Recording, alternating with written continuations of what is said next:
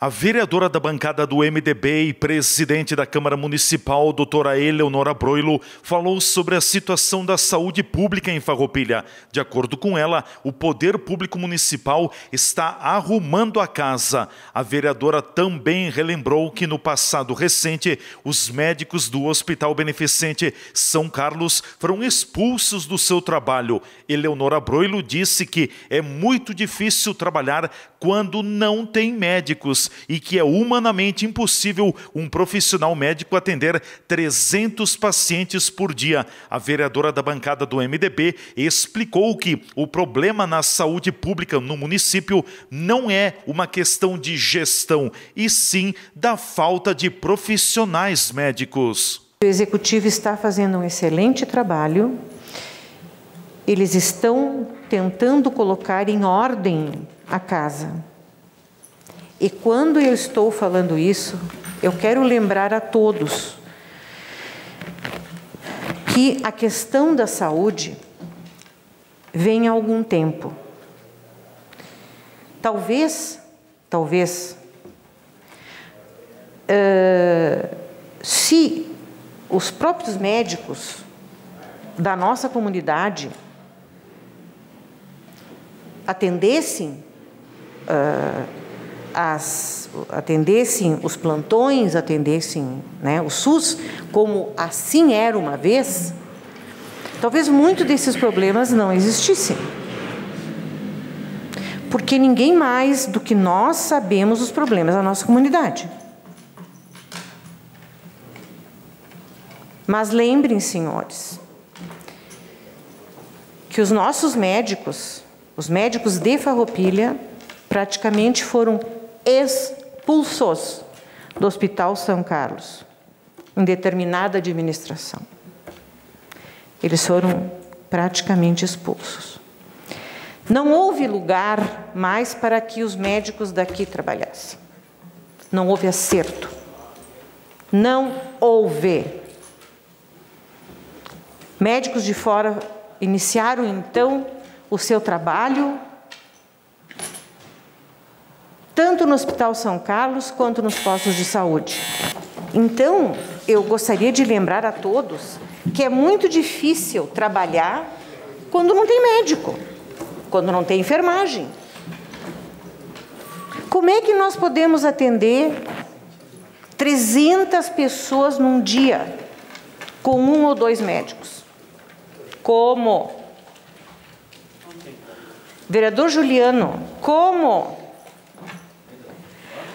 O médico está no auge da sua estafa. E o médico não é, ele não está trabalhando com uma máquina. Não é uma máquina, ele está trabalhando com a vida humana. É impossível, é impossível querer que aquele médico que está ali desde as sete da manhã atenda 300 pessoas. Ele não consegue. Não tem condições. Não é possível. E fazer o que se não tem mais médicos? Se os médicos estão fugindo mais do que elefante quando, quando ele vê que vai ter um tsunami, o que, que a gente faz? Os médicos estão fugindo. E sabe por que, que os médicos estão fugindo? Vocês têm noção de por que, que os médicos estão fugindo da AIA? Sabem por quê? Vocês sabem por quê?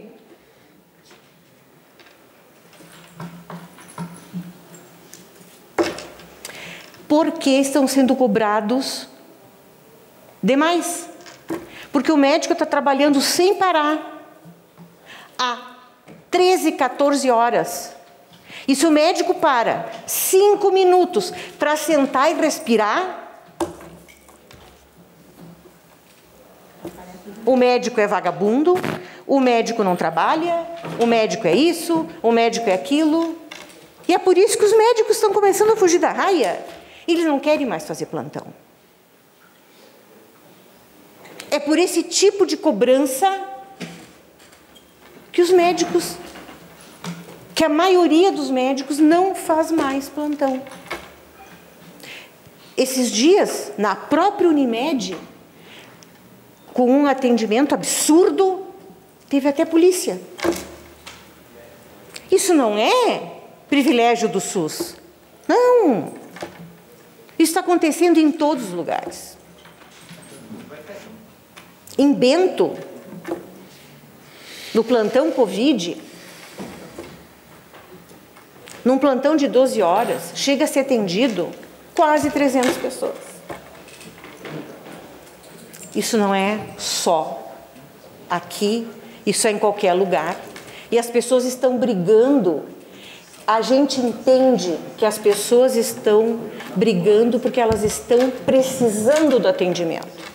A gente entende isso. É absolutamente compreensível. Só que do outro lado, também é compreensível que o médico é um ser humano. O médico é um ser humano. O médico tem limite do atendimento? Não tem, doutor Tiago. Quando o senhor faz plantão no São Carlos, o senhor é capaz de atender mais de 100 gestantes naquele dia? Não, né? Senão o senhor não vai prestar um bom atendimento. O senhor não vai conseguir examinar aquela paciente adequadamente, porque o senhor vai ter um ou dois minutos para atender essa paciente. O médico que não viu que a paciente estava grávida, quantos minutos ele tinha para atendê-la? Quantos? O tempo que ele teria para olhar e examinar, já tem uma fila lá fora brigando porque quer ser atendida. Onde é que está o problema disso? É na gestão? Não, é falta de médico, gente. Pelo amor de Deus, nós temos uma falta absurda de profissionais. Eu já entendi.